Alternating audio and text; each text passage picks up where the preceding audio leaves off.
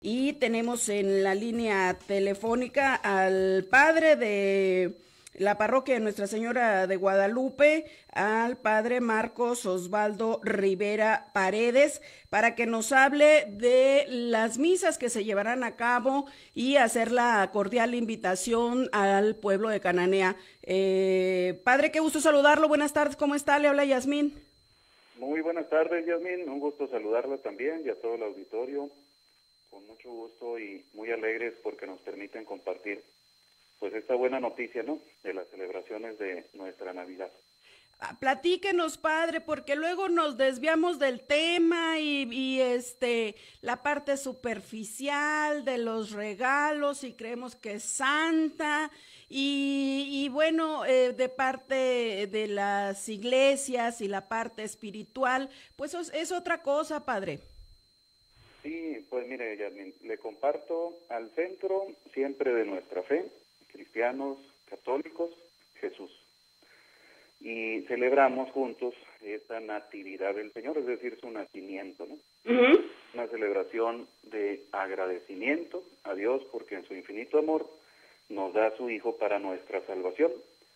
Y nosotros conociendo el camino de nuestra fe, sabemos que es por su pasión, muerte y resurrección, que el Señor nos ha dado la salvación, pero para que eso llegara, también pues en un momento determinado de la historia, puntual, concreto, en una ciudad, en un lugar, pues nació nuestro Salvador. ¿no? Y en ese sentido, pues celebramos cada año eh, la Nochebuena, el 24 de diciembre, ya celebrando desde la, desde la tarde, como la vigilia o las vísperas de la solemnidad de la Natividad del Señor, que es el día 25. A nosotros ya desde la noche buena, pues nos alegramos como aquellos pastorcitos que se encontraron pues a el niño Jesús, nuestro Señor, envuelto en pañales en un pesebre junto a María, la Virgen Madre de Dios, y San José, su esposo, ellos custodiando pues el misterio de nuestra salvación, nuestro Señor. Ahora, eh, padre, la, la, yo le recomendaba a nuestro auditorio eh, que estos días son días de reflexión. Así es. Platíquenos un poco más, cómo podemos reflexionar, cómo podemos ser mejores seres humanos, cómo podemos eh, eh, pues ser más como el ejemplo que nos dio Jesucristo. Así es, pues muchas gracias, Yasmin, nuevamente. Cada día, ¿no? Es una oportunidad para crecer, para dar gracias a Dios, para agradecer a los que tenemos a un lado, pero también es una oportunidad de reconciliación.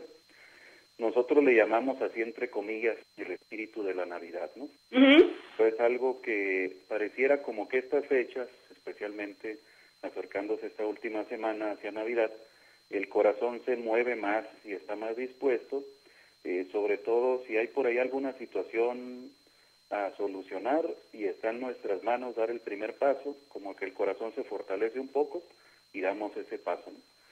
Si es necesario ofrecer algo que se nos está pidiendo como el perdón para buscar la reconciliación con alguien con quien tenemos ahí un pendiente, uh -huh. se mueve, se mueve el corazón. Es un es tiempo de reconciliación, eso es definitivo. También es tiempo para crecer, es tiempo para fortalecer lo bueno que hay en las familias, los lazos, la fraternidad, la unidad, la comunión, la concordia y sobre todo la paz de sabernos juntos. ¿no? Uh -huh. Muchos que pues tienen la bendición y tenemos de tener a nuestra mamá, nuestros hermanos, otros pues que ya descansan en la paz del Señor, pero es un tiempo en el que la unidad de la familia fortalece los lazos que ya tenemos, ¿no? y la oportunidad de compartir detallitos, ¿no? Sí. Que llevo el regalito, que si preparamos juntos la comida, que si los tamalitos, el, bueno, todo lo que viene en estas celebraciones, pues todo es para bien y crecimiento nuestro. ¿no? Oiga, padre, a ver, una duda y usted este, que me ayude. El, el, eh, la cena que realizamos eh, sería algo, algo alusivo también a la Santa Cena o es completamente diferente? Sí, es otro, es otro el, el concepto o es otra la temática. Uh -huh. más, más bien es la alegría de que nuestro Salvador ha nacido, uh -huh. reúne, ¿no? En torno a la última cena, pues está la, la, Eucaristía, ¿no? La Santa Misa, cada domingo, cada semana, las solemnidades. Eh, pero sí es una oportunidad de compartir, el mismo Señor Jesús nos enseñó, ¿no? Compartía la mesa con todos, ¿no? Y era una oportunidad para crecer escuchándolo, pero también escuchándonos, ¿no? Eh, una buena oportunidad, pues es la cena en la familia, de compartir a lo mejor eh, asuntos que durante todo el año pues llevamos guardaditos y la confianza, ahí la oportunidad de estar juntos, pues nos abre el corazón para compartir eso que a lo mejor el otro puede iluminarme con su propia historia. Sí, sí es una buena oportunidad y es un reflejo del compartir la mesa de lo que nuestro Señor hacía, ¿no? Ahora, padre, eh, ya para, para eh, cerrar y también, eh, pues yo que soy muy, muy creyente de Dios, más que del lado religioso, del lado espiritual, en ese sentido, el entregarle también todas nuestras cargas. Sí, el mismo Señor Jesús nos lo dijo, ¿no? Vengan a mí, los que están cansados y agobiados por las fatigas, ¿no? Tomen mi yugo que es suave y ligero, ¿no? Así mi carga es suave y ligera. No, nos dice que no vamos a seguir cargando, ¿no? Sí. Pero junto con él, lo que cargamos para nosotros. Más ligero. sabemos que no lo llevamos solos, ¿no? Y en ese sentido, nuestras fatigas, el cansancio de papá, de mamá, esforzándose durante todo el año y especialmente estos días, trabajando duro para a nosotros sus hijos, ofrecernos algo, pues todo eso también lo ponemos en el corazón de, nuestro Señor. Y solamente quisiera aprovechar el espacio, si me lo permite. Sí, por supuesto, Padre, dígame. Eh, este domingo es un domingo particular que otros años ha coincidido. Sí. Eh, nosotros, para prepararnos, así como católicos, para la Navidad, tenemos cuatro semanas, tiempo de Adviento. Ok. el Adviento es una palabra latina que remite a lo que viene, lo que llega.